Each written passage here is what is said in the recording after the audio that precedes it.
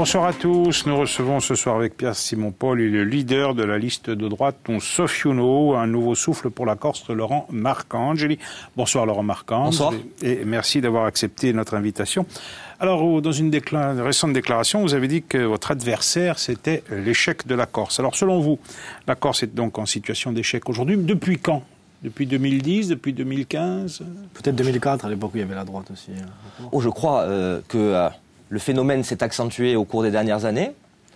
Mais effectivement, il y a des sujets sur lesquels nous, étions déjà dans des situations d'échec au préalable. Euh, et euh, il ne faut pas s'exonérer de le dire. Mais effectivement, je crois que euh, depuis 2015, beaucoup d'attentes légitimes suscitées par le président sortant ont été déçues. Alors, il n'y a pas d'autre liste de droite. C'est une première. Je crois qu'à chaque élection, il y en a eu plusieurs. Euh, mais vous n'avez pas rassemblé toute la droite, parce que les Républicains de Haute-Corse, par exemple, par la voix de François-Xavier Chicol, qui ne se représente plus, a émis un certain nombre de réserves, voire de critiques, même s'il vous soutient, par rapport à votre liste. Dit qu'il n'y a pas d'agriculteurs, que les territoires, certains sont sous-représentés, et que le programme a été élaboré sans les Républicains. Qu'est-ce que vous répondez à ces critiques? Je réponds par ce euh, vers quoi vous avez commencé. C'est-à-dire qu'il y a une liste, euh, elle est imparfaite, euh, comme toute liste. Le premier de la liste est imparfait. Mais euh, il y a une liste qui euh, essaye de rassembler au plus large. je ne suis pas magicien. c'est très difficile de constituer une liste de rassemblement. On le sait, vous l'avez dit, d'autres peut-être plus brillants que moi dans le passé n'y sont pas parvenus. Et puis quand je regarde le paysage politique de cette élection, je me dis que je ne m'en sens pas plus mal que d'autres. Il y a beaucoup d'élus quand même euh, sur votre liste. C'est euh, la recette Paul Jagobi, par exemple, euh, de, mettre autant de maires, d'élus sur cette liste? Non, moi j'ai voulu mettre des femmes et des hommes euh, des territoires de notre Corse en capacité d'être demain élus à l'Assemblée et en capacité de faire remonter un certain nombre de préoccupations qui, à mon avis, ont été trop absentes des débats au cours des dernières années. Alors vous êtes le maire d'Ajaccio, et cette confrontation politique pose aussi euh, la question de l'équilibre euh, des territoires, dont ceux des deux grandes villes. Hein, D'ailleurs, on regarde le sujet des milliards d'eau. Je suis fier d'être ajaccien et je suis fier d'être la semaine prochaine le maire de tous les Ajacciens. Merci Force Ajaccien et fier de l'être, ce credo a jusque-là plutôt servi la carrière politique de Laurent Marcangeli. De fait, tous les mandats de celui qui fut d'abord militant chiracien sont liés à sa ville natale. Conseiller municipal d'opposition en 2008, conseiller général en 2011, député en 2012, puis maire.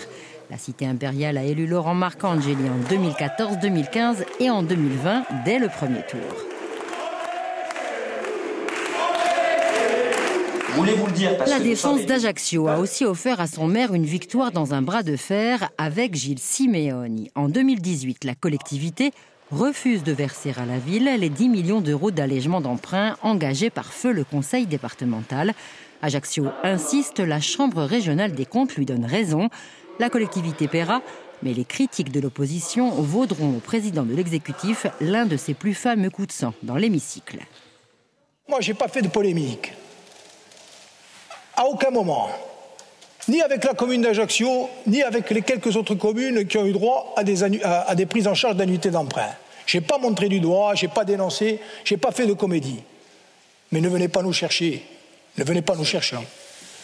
Pour Laurent Marcangeli, Ajaccio est une force, mais pour remporter les territoriales, c'est la Corse qu'il faut convaincre. Alors, pour annoncer sa candidature, c'est Reza, village natal de sa mère, qu'il a choisi en mars. Le village, les racines, le rural, de quoi étoffer un CV trop ayachine. Laurent aura à cœur de donner des, des, marqueurs et des messages évidents en direction du Nord. Des marqueurs et des messages à l'image de ce discours très offensif en faveur de Bastia.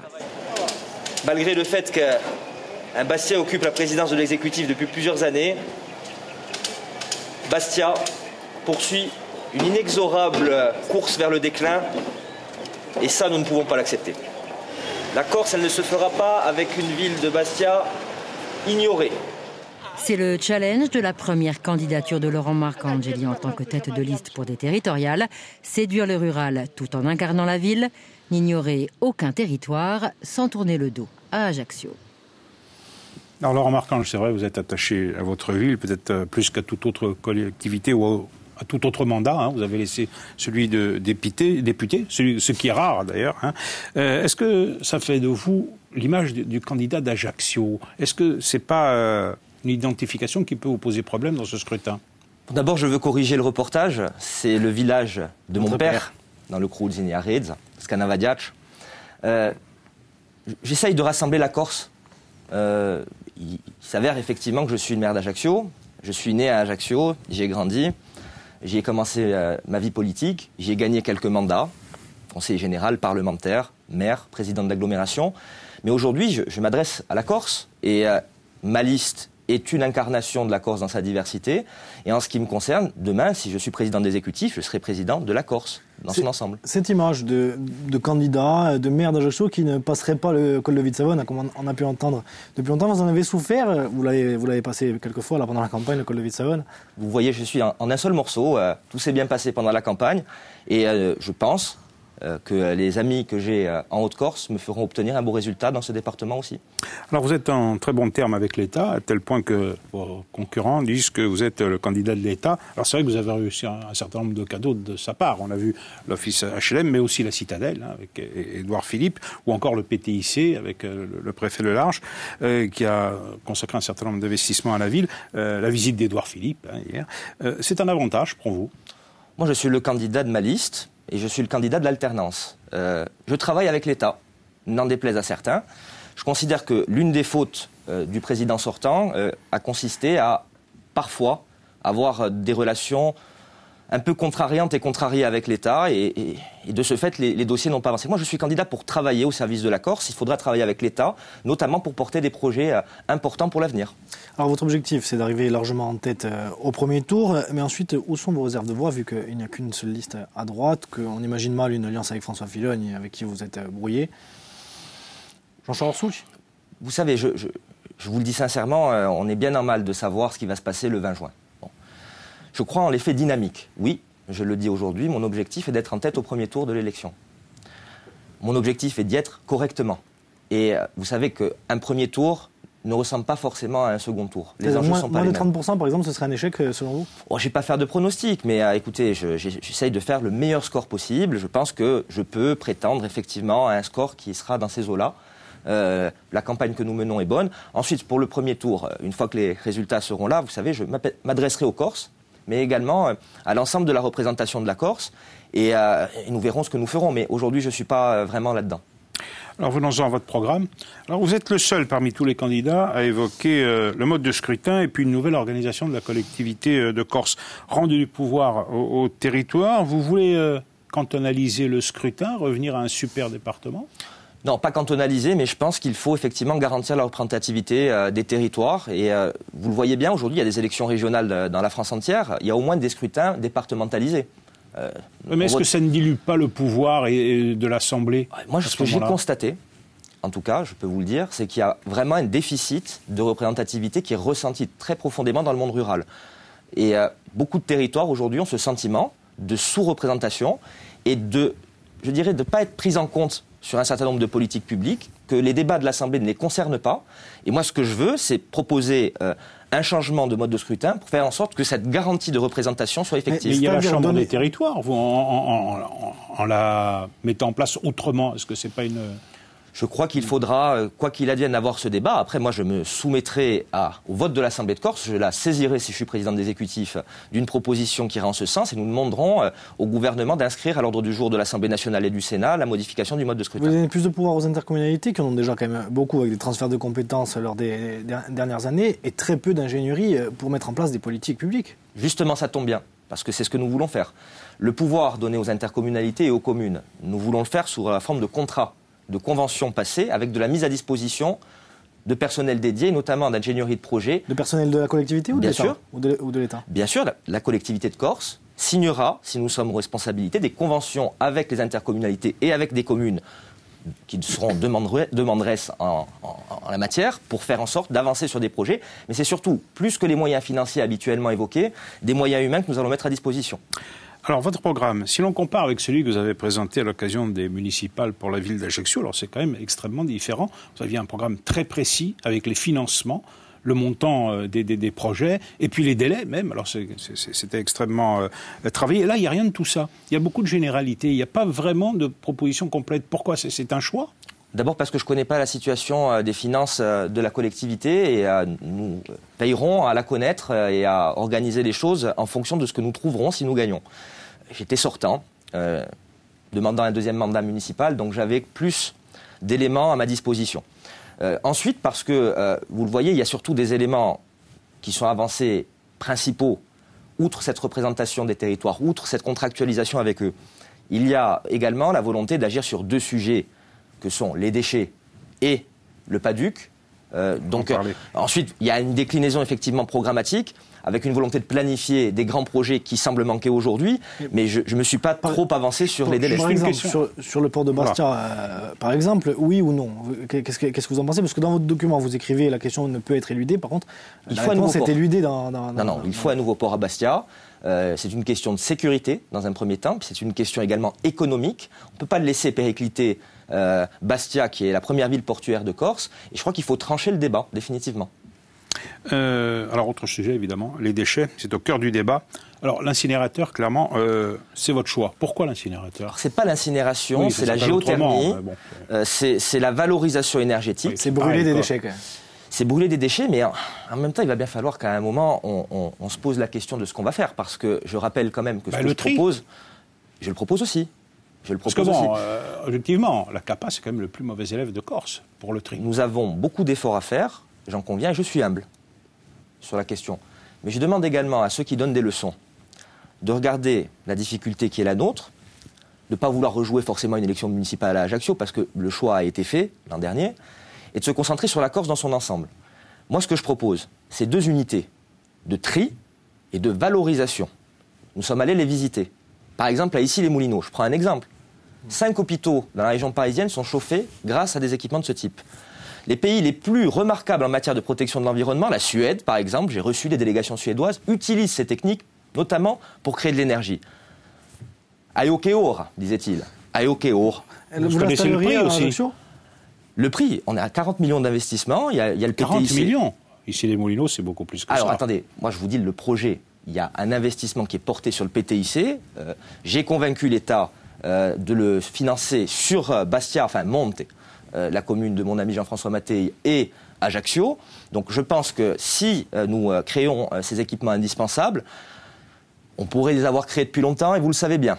Ça, c'est pour le surtri, vous dites. Tri et valorisation en même temps. L'équipement peut créer les deux options en, un équipement seulement. Donc, je vous dis, c'est quelque chose qui aurait dû déjà fonctionner. Depuis 2016, l'ACAPA propose en vain à l'exécutif la mise en place de cet équipement.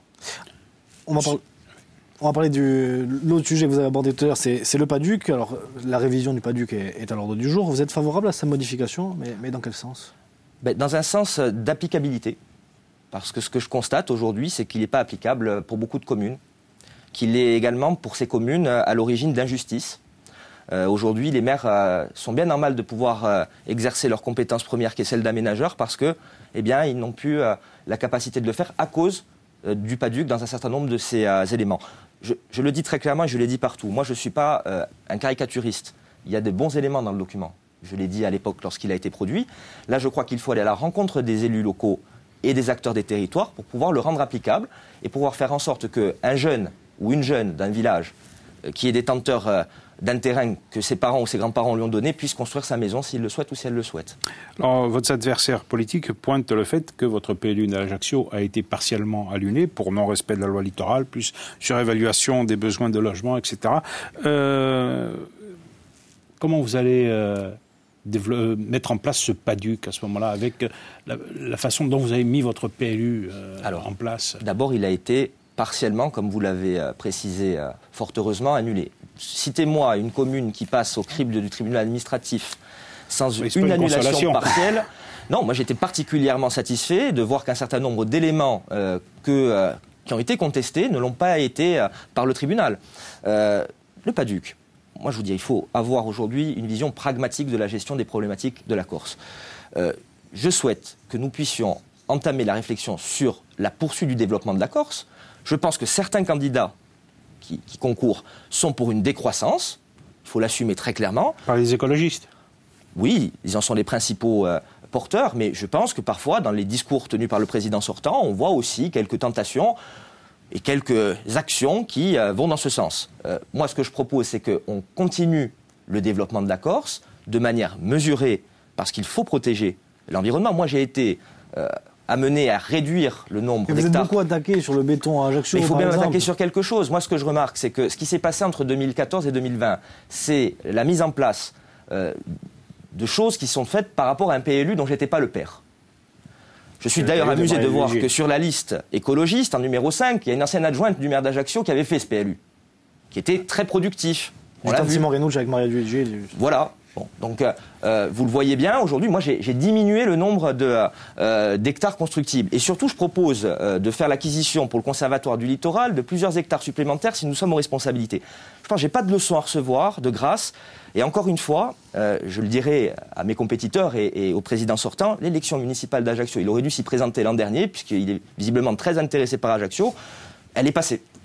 Du point de vue démographique, vous, vous plaidiez pour une augmentation importante de la population à Ajaccio. J'imagine aussi sur l'ensemble de la Corse. Donc ça veut dire que le PADUC doit être euh, mis en place en fonction de cette augmentation démographique. Donc on est encore dans plus de construction. euh, Vous savez que sur les euh, augmentations démographiques, moi je n'ai fait que suivre l'INSEE. Et vous savez que l'État, parce qu'on a aussi le problème de la loi, il n'y a pas que le PADUC qui pose problème pour les maires. L'État, il surveille et il incite les communes à faire des documents de ce type. Euh, sinon, il, il fait jouer ici son contrôle de légalité. Donc moi, oui, je souhaite que euh, nous continuions, et notamment pour le rural, hein, euh, au passage, si demain le rural C'est pas continue trop de là où ses ça se développe hein, quand même. ben, et pour cause, et pour cause, parce que lorsque vous avez des permis de construire qui sont déposés, eh bien ils sont, ils sont rejetés parce qu'aujourd'hui le, le PADUC pose problème davantage dans les territoires ruraux que euh, dans les territoires urbains en Corse. Alors dans le domaine social, vous avez une proposition concrète, là, c'est le revenu jeune actif, hein, ce qui est déjà mis en place, je crois, en Ile-de-France par Valérie Pécresse. Alors il faut voir les montants, je crois que c'est 500 à 670 euros euh, par mois. Euh, combien de personnes cela concerne-t-il encore? C'est qui va financer cela? On n'a pas encore fixé les seuils, on n'a pas encore fixé les barèmes, euh, mais je voudrais que ça bénéficie euh, au plus grand nombre de jeunes qui débutent dans la vie professionnelle, avec évidemment des conditions salariales, parce que je crois qu'il faut donner un coup de pouce, et surtout à ceux qui font le choix de la formation professionnelle, de l'apprentissage, parce que je crois qu'il faut qu'on booste tout cela. Euh, la formation professionnelle, c'est très important, c'est l'une des premières compétences de la collectivité. Je trouve que malheureusement, nous n'en parlons pas assez. Alors, on a vu précédemment que vous vouliez changer le, le mode de scrutin de cette élection territoriale. Sur le fonctionnement de la collectivité de Corse, vous seriez favorable à une réforme, la fusion euh, d'agences, d'offices, par exemple? Je crois que tout le monde en parle depuis C'est le, un sujet très délicat. Bien, je fais seul- seulement remarquer que personne n'a dupliqué le modèle corse issu du statut JOX. Nulle part. En Europe et en France. Donc, euh, il va peut-être falloir se poser la question, mais je suis humble par nature. Je sais que ce sont des, euh, des forteresses parfois euh, qu'on affronte et je ne veux pas faire peur, notamment à celles et ceux qui travaillent dans, dans ces agences et offices. Mais effectivement, quand vous voyez que vous avez l'ODARC, l'ADEC, qui se chevauchent parfois dans un certain nombre de choses, l'agence du tourisme, on s'y perd un peu, et d'ailleurs les professionnels de secteur, euh, j'étais avec des agriculteurs la semaine dernière, parfois ont du mal à s'y retrouver aussi. Alors, euh, gérer la collectivité de Corse est une charge très lourde. On imagine que vous avez réfléchi à la constitution de votre équipe. Alors, est-ce que vous voulez dire aujourd'hui qui sera en charge de quoi? On imagine que ce sont les premiers de liste qui euh, vont être chargés des. Pas forcément. Ben, au moins ceux qui vont être élus, en tout cas. Bien sûr, naturellement. Écoutez, j'ai quand même autour de moi des femmes et des hommes qui ont euh, des compétences, qui les démontrent dans leurs mandats locaux et qui l'ont démontré également dans le cadre du mandat d'opposition euh, à l'Assemblée. Euh, je pense être bien pourvu euh, en qualité et en compétences. Vous seriez d'accord pour qu'on puisse prendre des gens extérieurs qui ne sont pas élus pour entrer à l'exécutif? Ce serait peut-être une bonne chose. Euh, ça avait été proposé fut un temps. Euh, il faut un peu plus de souplesse, peut-être, effectivement, sur le mode de fonctionnement On du Conseil réviser les exécutif. statuts. Mais euh, je pense déjà être bien pourvu euh, sur la liste que je conduis. Eh bien, Laurent Marcange, ce sera là le mot de la fin. Merci beaucoup Merci à d'avoir vous. participé à cette émission, Pierre. Merci à vous. Vous. Je vous rappelle que neuf autres listes sont en concurrence pour cette élection territoriale et que vous pouvez trouver toutes les informations sur notre site internet. Buonasera a tutti, Bilasciawa con l'informazione.